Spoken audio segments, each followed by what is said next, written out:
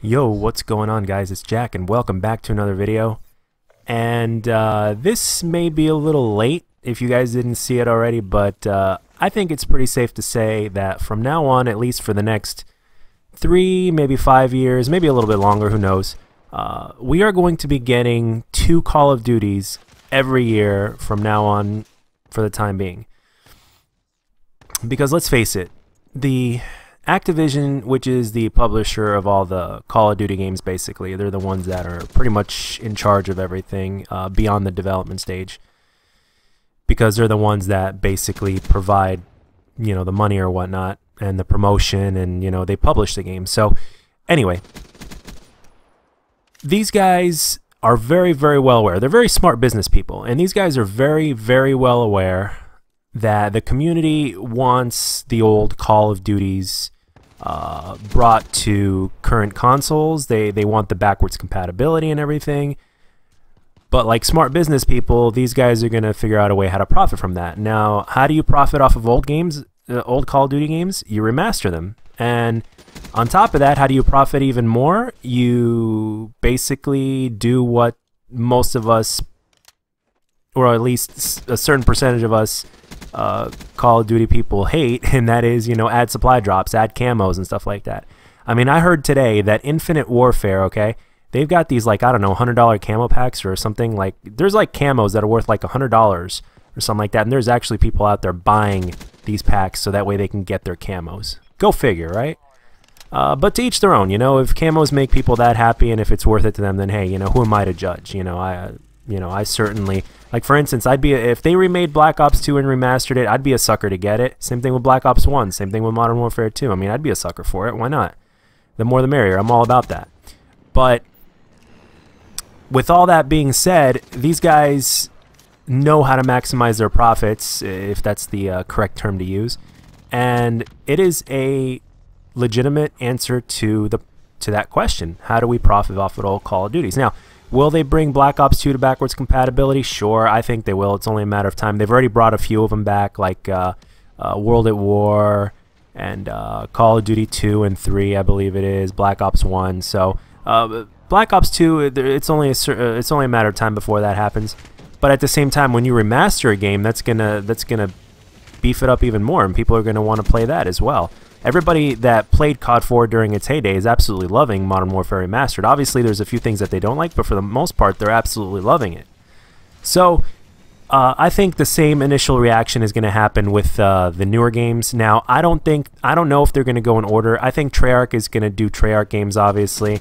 Um, or Treyarch games are going to be remastered when the the new Treyarch game gets re-released, and then when the Sledgehammer game gets released, they're going to basically uh, Infinity Ward and Sledgehammer are going to alternate between the uh, the Infinity Ward games, the old Infinity Ward games. So if they're going to go in, go in order, then obviously World at War uh, World at War is next, and then after that you got Modern Warfare 2, and then after that you guys know the order and how it goes. Uh, if not, it's going to be slightly different. So uh, come next year when Sledgehammer, or should I say, come later this year when Sledgehammer uh, releases their game. Uh, my question is, which game are we going to have? Are they going to go in order and just do? Uh, are they going to release World at War, or are they going to go straight to Modern Warfare 2, or are they going to do another one and just completely just, uh, you know, completely give us a different game in general? Who knows? I mean, ba Black Ops 2 is the number one most requested Call of Duty to uh, to be requested for backwards compatibility with Xbox One.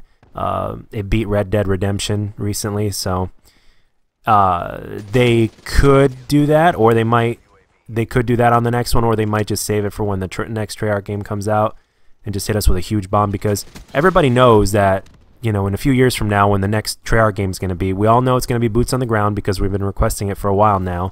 And uh, for them to go back in time, which is something they specialize in, they specialize in uh, games that take place in the past as well because that's all that's how they got started, and they're damn good at it.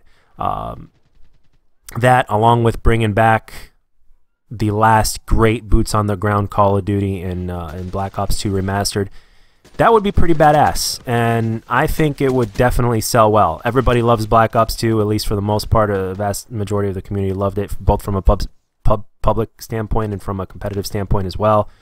Um, so I think it could definitely be a success. And, and the thing is, I it's pretty much safe to assume and, and believe that from now on we are going to get two Call of Duties. Uh, you know, I mean, and there's definitely a pattern. I mean, ever since Call of Duties have been released on a Friday, uh, it seems like they're going to keep getting released on a Friday from now on instead of uh, on a Tuesday. So, so whatever whatever benefits the players and the company alike, and that's what they're going to do basically. So, and that's how they do it. They think about how they maximize their profits, and it's a sure way for them to maximize their profits. And you know, when a new game gets remastered, uh, it also has the potential of bringing back all those old school players that basically started with the old games. I'm sure there's a lot of players that uh, haven't played Call of Duty in a long time that literally bought the Legacy Edition of Infinite Warfare just so they can get their hands on COD 4 remastered again. I guarantee you. I mean, can you imagine how low the sales would be for Infinite Warfare if they didn't do the bundle anyway? So at the same time, if uh, Activision doesn't have that much faith in Sledgehammer, I personally do actually. I'm going to get into that in a minute. Uh, if, if, if they don't have that much faith in Sledgehammer, uh, you know, at least they have a they have a backup plan. You know, they got a they got a remaster a Call of Duty that everybody would want to play again. Everybody's crazy about Modern Warfare 2. Everybody's been asking for that for a while. So, uh, like I said, they may or may not go out of order. So only time will tell in what game they decide to release. And uh, they might just go by the company, and there you go. And the reason why I have faith in Sledgehammer is because they made their first Call of Duty game uh, in Advanced Warfare, and in my opinion, it wasn't that bad. Yes, it had its problems. I think skill-based matchmaking was a bigger problem than the movement, actually.